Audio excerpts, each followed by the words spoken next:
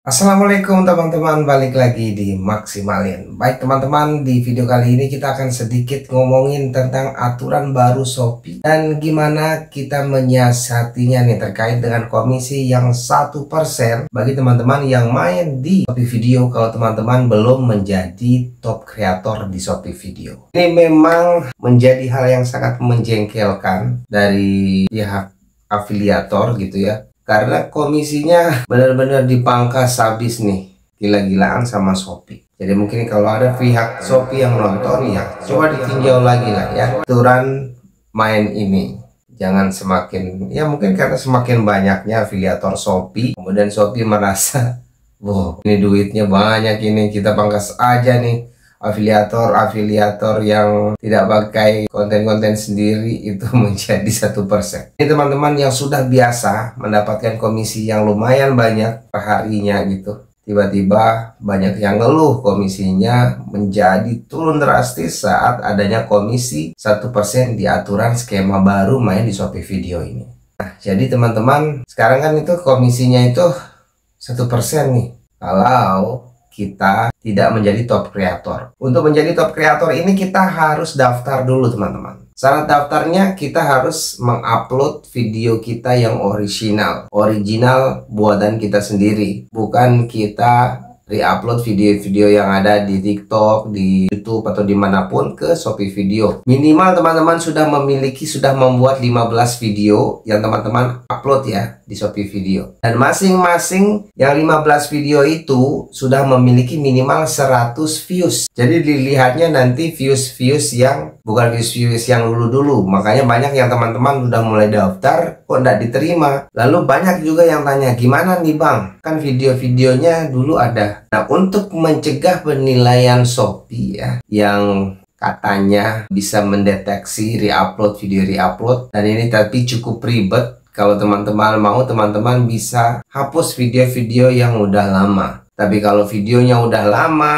banyak gitu ya kan ribet juga ya kita ngapusnya. Dan aturan dari si Shopee video ini juga belum jelas nih. Atau mungkin teman-teman ada yang tahu nih aturan jelasnya gimana nih. Juga belum tahu jelasnya seperti apa. Untuk memulai ngupload itu apakah video-video yang sudah pernah kita upload yang kita re-upload itu kita hapus juga belum jelas. Lalu kita mulai untuk upload 15 video. Ataukah dia tidak terdeteksi gitu ya. Video yang sudah-sudah kita upload, dia mulainya setelah muncul skema baru ini.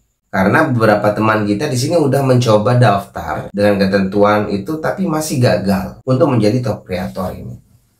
Berbeda kalau teman-teman yang udah lama nih, udah lama membuat konten-konten sendiri, tentunya itu akan sangat cepat diterimanya. Tapi teman-teman jangan khawatir, teman-teman bisa menautkan komisi-komisi ekstra di Shopee Video itu. Tapi komisi ekstra ini kan biasanya ini juga sih ya. Wah, ada timingnya, ada programnya mengikuti timing-timing tertentu. Tidak selamanya dia komisi ekstra. Nanti udah aja kita tautkan komisi ekstra tapi dia malah jadi ya satu persen lagi. Nah, itu yang permasalahan yang sekarang nih dihadapi oleh teman-teman kita afiliator di Shopee Video. Jadi teman-teman berbeda kalau kita yang awal main di Shopee Affiliate itu mainnya di sosial media. Kalau di sosial media itu tidak berpengaruh dengan komisi 10% di video ini. Jadi komisinya akan tetap sama seperti biasa yang yang apa tuh? Yang komisi Shopee affiliate dan Shopee affiliate partner. Teman-teman bisa baca di bagian aturan Shopee affiliate-nya bagaimana komisi Shopee affiliate partner dan Shopee affiliate biasa. Kalau teman-teman main di sosial media punya kolam di sosial media insya Allah itu akan tetap stabil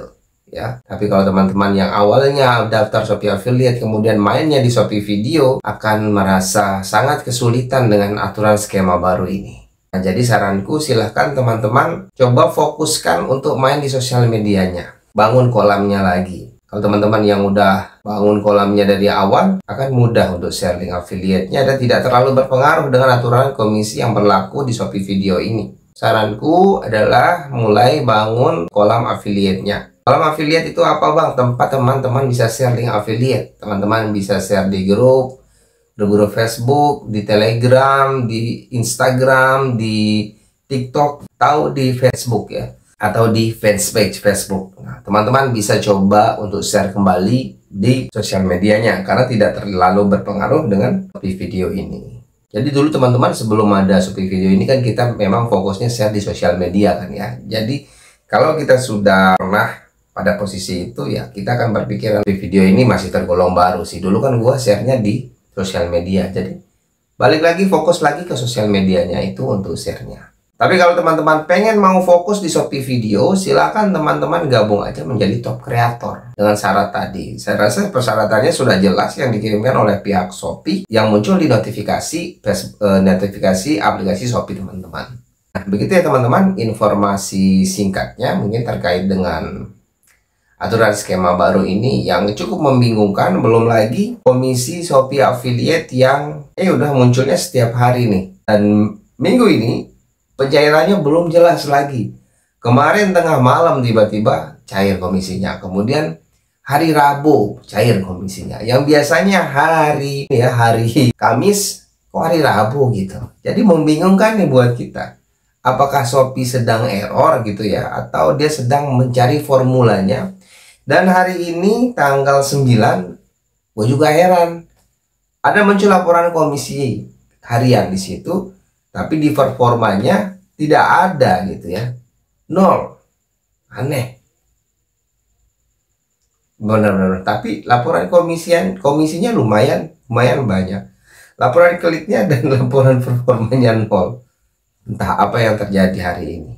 Ada yang mengalami hal yang sama mungkin bisa kita share di sini begitu ya teman-teman jadi ya saya bukan orang Shopee saya hanya menjalankan program affiliate-nya dan share pengalaman-pengalaman yang udah saya jalani pada teman-teman. Nah, jadi kalau pertanyaan-pertanyaan yang terlalu sifatnya terkait aturan privacy apa yang tidak selamanya bisa saya jawab, saya pelajari dulu gitu ya. Pelajari dulu, cari tahu dulu seperti apa, baru saya bisa sampaikan di video-video seperti ini. Nah, begitu ya teman-teman informasinya, tetap semangat. Semoga kita selalu ada jalan untuk mencari rezeki secara online ini melalui uh, affiliate-affiliate atau yang lainnya. Sekian, wassalamualaikum warahmatullahi wabarakatuh.